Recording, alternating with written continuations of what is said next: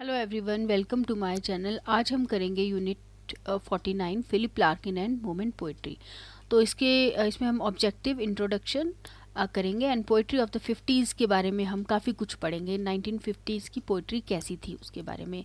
उसमें हम पढ़ेंगे कि मोमेंट पोइट्स कौन थे?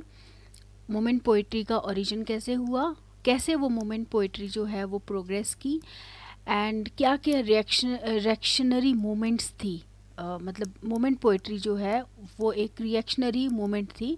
किसके प्रति थी वो? ए, आ, वो थी एलियट पाउंड एंड दूसरे थर्टीज़ के जो राइटर्स थे उनके लिए थी और डायलन थॉमस के अगेंस्ट थी ठीक है? और न्यू मैनिफेस्टो की भी हम बात करेंगे। सो so, इसमें हम फ़िलिप लार्किन के बारे में भी पढ़ेंगे और उनकी पोइट्री भी हम पढ़ेंगे। फ़िलिप लार्किन को इसमें बोला गया the poet as an ordinary man तो ऑर्डनरी मैन ये बड़ा क्वेश्चन एक बार आया भी है क्वेश्चन क्वेश्चन पेपर्स में। सो so, उनकी पोएम के बारे में भी हम पढ़ेंगे। उनकी पोएम इसमें हमने सेवन पोएम्स डिस्कस करी हैं करनी है। ठीक है? तो इसमें ऑब्जेक्टिव में तो हमने पढ़ लिया कि क्या क्या है। हम मोमेंट पोइट्री के बारे में पढ़ेंगे फिलिप लार्किन के बारे में पढ़ेंगे, उनकी पोइट्री के बारे में पढ़ेंगे। तो हम स्टार्ट करते हैं पोइट्री ऑफ़ द फिफ्टीज़ ठीक है, जो कि मोमेंट पोइट्री है, ठीक है। उसके बारे में पढ़ेंगे कि कौन कौन से पोइट्स थे जो कि मोमेंट पोइट्स थे। तो पहले मैं आप ये पैराग्राफ पढ़ूँगी, उसके बाद उसको एक्सप्लेन हम करते हैं। You have already read about Dylan Thomas अब हमने डायलन थॉमस के बारे में, मैंने अभी वीडियो अपलोड नहीं किया है, मैं करूँगी। तो डायलन थॉमस की ये बात कर रहे हैं कि उन्होंने उस टाइम पे काफ़ी ज़्यादा पॉपुलैरिटी गेन की थी और उस पॉपुलैरिटी की वजह से उनके बहुत सारे जो हैं हॉस्ट उनके दुश्मन बन गए थे। ठीक है? As a result of his excesses जैसे वो पॉपुलर हुए they have begun in England a new school of poetry that came to be called the movement poetry movement है ना? The main spokesman of which were Kingsley M S and Robert Conquest who voiced their resentment against Thomas Kingsley Kingsley MS had strong objections against the poet who always seemed drunk with words in his opinion. ठीक है? And immediate reaction जो था Dylan Thomas के against was a movement poetry of the nineteen fifties सीधी सी बात है Dylan Thomas एक poet uh, थे जो कि मोमेंट पोएट्री पोइट्री से पहले थे। और वो ज़्यादा पॉपुलर हो गए तो उनके अगेंस्ट लोग खड़े हो गए। उनके कुछ ऐसे लोग होते हैं ना जो कि जिनको कि एक पर्टिकुलर टाइप की पोइट्री पसंद नहीं होती है तो वो भी इनके अगेंस्ट हो गए, इनकी पोइट्री के अगेंस्ट हो गए। और उन्होंने एक मोमेंट स्टार्ट की जिसका, जिसको नाम दिया गया मोमेंट मोमेंट ठीक है? मोमेंट पोइट्री उन्होंने ऐसी पोइट्री स्टार्ट की जो कि मोमेंट पोइट्री के नाम से जाने जाने लगी और उसके दो मेन जो पायनियर जो थे वो थे किंग्सले एमिसन रॉबर्ट क्वेस्ट ये बताया गया है उसके बाद the origin of movement poetry movement poetry start कैसे हुई The origins of moment poetry may be traced to a series of events in the years that followed the death of Dylan Thomas. Dylan Thomas की मृत्यु के बाद जो है, वो बहुत सारे ऐसे इवेंट्स हुए, काफ़ी सारे ऐसे इवेंट्स हुए, होते चले गए कि मोमेंट पोइट्री का ऑरिजन हुआ। To begin with on the first of October 1954 there appear an anonymous article in the Spectator the purpose of which was apparently to ring out the current poetic norms and usher in a new era in poetic fashion तो 1954 की बात है, first अक्टूबर की।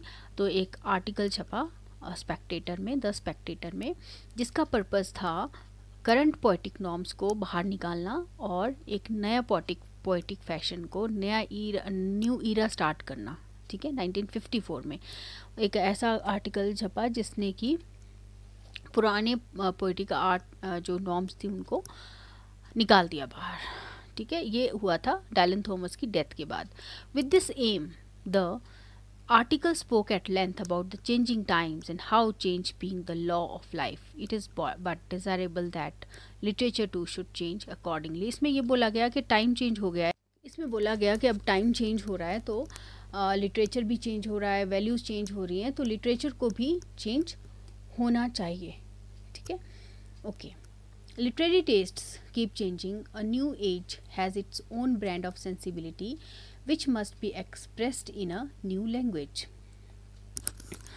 तो नई as है तो sensibilities नई हैं तो एक नई नई लैंग्वेज का होना बहुत ज़रूरी है the prove names of previous decades no longer fitted the bill जो पुराने नाम हैं जो पुराने पोइट्स हैं अब नए नए नए जो दौर है, नया जो वैल्यूज़ है, उसमें फिट नहीं हो रहे हैं। They were simply relics from the bygone age ठीक है? वो अब जा चुकी एज के लोग हैं। The way must now be cleared for a younger generation with different ideas on poetry younger generation के लिए अब डिफरेंट आइडियाज़ होने चाहिए, ठीक है? The Spectator article was simply a harbinger of what was to follow means harbinger है herald कर रहा था मतलब रोक रहा था। तो स्पेक्टेटर आर्टिकल जो है, वो एक तरह से जो जो चल रहा था, उसको जो, जिस तरह की पोइट्री चल रही थी, उसको वो अब रोकने में सक्सेसफुल हो गया था। एक तरह से हेरोल्ड कर रहा था, रोक रहा था। It prepared a suitable background and suggested that a new generation of writers has now emerged on the literary scene more suited to the change changed word of the 50s. These writers of the new movement thus emerged as a reaction to the older generation of poets. They were described as taking on a stance antithetical to that of T.S. Eliot in that they were uh, skeptical, uh, skeptical, robust, ironic, prepared to be as comfortable as possible in a wicked commercial threatened world. तो इन जो poets की जो सोच थी ना, जो नए poets थे, ना, वो जो थे, वो टी एस एलियट के जैसा नहीं सोचते थे। क्योंकि वो जो थे टी एस एलियट डिफरेंट तरह तरह के पोइट थे। और अभी हम बताएँगे इसमें कि वो किस तरह के, किस तरह से इन पोइट से अलग थे, ठीक है? तो जो नए पोइट आए थे, वो सेप्टिकल थे रोबस्ट थे आयरॉनिक थे मीन्स वो भगवान में विश्वास नहीं करते थे, बहुत ही मज़बूत टाइप के थे। एंड जिस तरह का थ्रेटन थ्रेटन्ड वर्ल्ड था ना, जिस तरह के कमर्शियल या विकेट बुरा संसार बहुत बुरा हो गया था, उस तरह के वो, उसके हिसाब से वो बहुत अच्छे थे। मतलब वो अब बहुत मज़बूत हो चुके मज़बूत तरह के वो पोइट थे पोइट्री थी ये। ठीक है? और टी टी एस इलियट जो थे ना, वो डिफरेंट तरह के थे। अभी इसमें क्लियर करते हैं, है ना? The disagreement is not with the with the milieu है ना? मिलिय है ना? मिलिय मीन्स सोशल एनवायरनमेंट को बोलते हैं। Not with the perception of the world मतलब डिसएग्रीमेंट जो था ना लो ये जो मोमेंट पोइट्स थे ये उस उस टाइम के मीन सोशल एनवायरनमेंट से डिसएग्री uh, नहीं करते थे ठीक है? जो है जैसा है वो मान जाते थे उस चीज़ को। ना तो वो संसार की जो परसेप्शन थे, उससे भी वो डिसएग्री नहीं करते थे। The group of poets that emerge in the fifties see the world as materialistic evil banal as there that visualize by Eliot अब देखो इन्होंने बोला है कि जो फिफ्टीज़ में जो मोमेंट पोइट्स थे ना, वो भी ये मानते थे कि मटेरियलिस्टिक है एविल है है ना? और और ऑर्डनरी सा संसार है। है ना? जैसे कि एलियट देखते थे संसार को। वो भी बोलते थे कि जैसे उन्होंने वेस्टलैंड लिखी थी ना तो मेटेरियलिस्टिक बोलते थे ना संसार को। बुराइयाँ हैं, है ना? और बोलते थे कि संसार बहुत ही ऑर्डनरी है, इस इस तरह की वो बातें करते थे। तो जो मोमेंट पोइट्स थे ना, वो भी सेम बात सोचते थे। बस उनका रिएक्ट करने का तरीका अलग था, है ना? The difference with the older poet lies in the individual reaction to it अब ये जो पुराने पोइट्स थे और ये जो नए पोइट आ, आ गए इनका डिफरेंस इनको दोनों एक ही नज़र से संसार को देखते थे बट इनका देखने का तरीका ये था कि ये अब इसके अगेंस्ट लड़ने मतलब आ, इनका रिएक्शन क्या था संसार के प्रति वो बताया है है ना? जैसे कि Eliot would sit by the Thames ऐसा बोला गया है। Eliot would sit by the Thames and weep for the horror T S Eliot जो है वो थेम्स के किनारे बैठ बैठेंगे और हॉरर जो भी संसार में हो रहा है उसके लिए रोएँगे। The boredom and the glory संसार की बोर्डम ग्लोरी या हॉरर के लिए वो रोएँगे। But the younger generation of poets remain undisturb younger generation disturb नहीं होगी। In fact they are even robust in the face of despair हालाँकि वो ज़्यादा मज़बूत हो जाएँगे इस तरह की बर्बादी को देख के, इस तरह के जो मटेरियलिज्म है, इसको देख के वो और ज़्यादा मज़बूत हो जाएँगे। तो ये फ़र्क है और ये बहुत ही इंपॉर्टेंट चीज़ है कि टी एस एलियट क्या सोचते थे और ये मोमेंट पोइट्स जो हैं, जो नई जनरेशन के पोइट्स थे मॉडर्न पोइट्स थे ये क्या सोचने लगे थे, ठीक है? अच्छा अब इसकी प्रोग्रेस के बारे में थोड़ा हम बात करेंगे। द मूवमेंट प्रोग्रेसिस कैसे वो प्रोग्रेस हुई थी धीरे धीरे धीरे वो कैसे पड़ी बढ़ी थी, ठीक है? पहले हमने पढ़ लिया कि सॉरी थॉमस हार्डे के अगेंस्ट कुछ लोग हो गए थे। है ना? उनमें से दो करेक्टर्स दो पोइट्स के बारे में तो हमने ऑलरेडी पढ़ लिया है कि हाँ ये दो थे जो कि उनके बिल्कुल अगेंस्ट थे। फिर जो है एक मैगज़ीन निकली या एक आर्टिकल निकला उसने ये बताया कि संसार कैसे चल रहा है किस तरह की चीज़ें हो रही हैं ये सब हमने पढ़ा। उसके बाद हमने पढ़ा कि सबसे आ, मतलब टी एस एलियट और मोमेंट पोइट्स जो थे उनमें उनकी सोच में क्या डिफरेंस था ये हमने पढ़ लिया। ओके okay, फिर हम उसके बाद पढ़ेंगे द मोमेंट प्रोग्रेस कैसे ये मोमेंट आगे प्रोग्रेस की ठीक है? The two other events in the following years are important landmarks in the evolution of the new poetic moment ठीक है? The first was the publication of poets of the nineteen fifties by D J Enright in 1955 and the other was New Lines published by Robert Conquest in 1956 तो दो चीज़ें उस time पे publish हुई थी। पहला जो था आ, 1950 के पोइट्स मतलब डी जे एन राइट ने एक बुक पब्लिश की थी जिसमें कि जिसका की टाइटल था पोइट्स ऑफ़ द 1950s और दूसरा था न्यू लाइंस करके एक पब्लिश हुई थी बुक जो कि रॉबर्ट कॉन्क्वेस्ट की थी। दीज टू एंथोलॉजीज एंथोलॉजीज होता है ऐसी बुक जिसमें डिफरेंट पोइट्स होते हैं आ, उनकी पोइट्री होती है ना? आ, उसको एक आ, एक बुक बना दिया जाता है ठीक है? These two anthologies together publish the work of nine new poets who were considered avant garde avant garde means ऐसी मूवमेंट जो कि चेंज कर देती है सब कुछ। Heralding a change in literary taste. तो इससे क्या हुआ लिटरेरी टेस्ट में एक बहुत बड़ा झटका लग गया लोगों को बहुत ही चेंज हो गया लोगों का आ, सोचने का तरीका इस पोइट्री को पढ़ के।